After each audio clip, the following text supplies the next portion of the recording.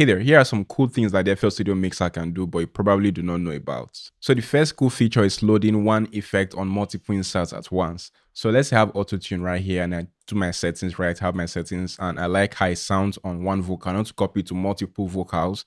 So instead of going to load it on each vocal and building the settings all over again, all I have to do is just highlight the parts I want to send them to. And then I could just click and then drag and drop and as you can see, it's going to load up on each and every insert. Just make sure it deletes it from the original track so it doesn't appear twice. And if I come to these inserts, you see the exact same settings. If I come here again, the exact same settings. So this can save you a lot of time when you're trying to apply the same effect across different sounds or inserts on your mixer. Now the second tip, and I'm surprised many people do not know this, is that you can actually change the size of your mixer. Now I'm not talking about just doing this you know I mean? We all know about this. But you know you can actually change how big your mixer looks? And this can help with visibility issues and even see more features. For example, when it's on compact, you know, everything is so squashed. When I come to wide, you can see I have better details on everything and you know I can move my mixer more freely as well. So you can move it at anyhow you want you can even do extra large so you can even see your plugins that appear, the name of your plugin chain that appear. For example, if I load up EQ, you can see EQ loads up here. Now, if you've ever export tracks in FL Studio, you typically see two main files, master and current. Now, most people don't understand what master and current mean. Now, master just simply means this is how the entire sound is coming out from your FL Studio. This is how it sounds like. Now, with current, some sounds that may not be linked to your mixer will not be exported with the current sound, okay? Or if you have a processing that is not enabled, it will not be printed into your current. Now, if you make songs like I do in FL Studio, I'm sure most have heard this tip where they say always do a mono test for your mix. So instead of going out to buy a mono speaker, you can actually do a mono test in FL Studio and it's really easy. You don't need this fancy plug, you don't need a special plugin. you have to do is make sure you have your, your mixer on at least the wide view so you can have a better view of the knobs. And you come down here that has the stereo separation knob. You can see it at the top left of my screen. And all, and all I have to do is just collapse it. When it's 100% merged, that means it's now in mono. And if I do it like this, 100% separated, that means it's now really wide, okay?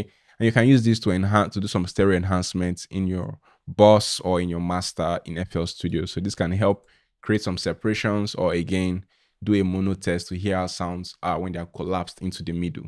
So before we go any further, I want to let you know you can take our online courses that you learn how to make beats, how to mix or how to master from scratch from beginner levels all the way to advanced levels. Now, these courses are well detailed and they're suitable for anybody who is interested in getting great results. Okay, so you have to just click the link in the description and it be taken to our course page and you can sign up and get started. It's 100% online and you learn at your own pace and you even earn a certificate when you complete the course successfully. All right, let's get back to the video. Now, another tip that many people don't know about the FL Studio is that you can actually drag multiple faders down instead of, you know, adjusting, you know, gradually, especially if you're trying to get maybe your drums to come down to a certain level. So instead of coming to adjust everything one by one, which may ruin your mix, you can just highlight the tracks you want to drop down and drop drop it down. They'll all come down relatively. Okay, it's not going to ruin your actual balance. It's going to bring everything down while maintaining their respective while maintaining their respective position. So you can see this didn't go down compared to this. They are all still relative. Okay, so you can take it up, you can take it down, take it up, take it down. Personally, I like to organize my mixer tracks when I'm mixing, especially color coding. This helps me visualize my mix. Now, instead of coming to color everything, you know, one by one, or change color, maybe I like this, right? I don't have to do that. All I have to do is highlight maybe my drum tracks in the mixer, right?